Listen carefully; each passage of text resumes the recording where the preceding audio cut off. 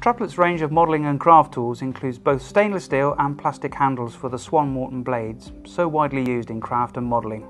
The most popular blades used are the 10 and 10A, one being pointed and the other rounded, and both have slightly different uses. Equally well known and available is the common metal handle, the blade just slides on with a pair of pliers. We've also got a slightly more luxury plastic stroke rubber handled version which is slightly easier to hold in the hand.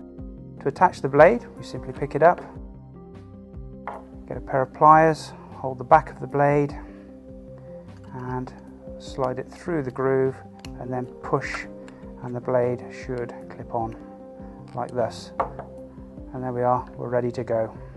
There's a couple of tips for cutting balsa that are really useful. Notice the grain on the balsa runs this way. You can see that by the long brown streaks. And if we want to cut across the grain, uh, we should always use the pointed knife.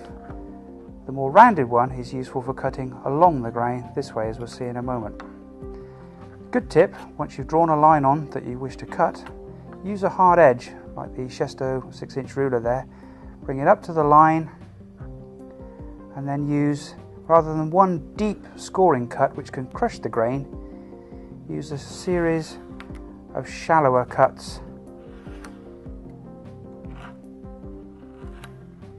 to get the cut you want, you end up with a much cleaner edge than you otherwise would. That's one tip, and using the pointed blade to cut across the grain of the wood. If we now have a situation where we want to cut along the grain, let's draw our imaginary cut line on. Again, always use a hard edge, it helps guide the blade of the knife down the cut and protects your fingers. Bring the ruler up to the line and then using the round blade simply follow the line of the ruler to make the cut you need. By the way, it's always much easier to cut along the grain than it is across it.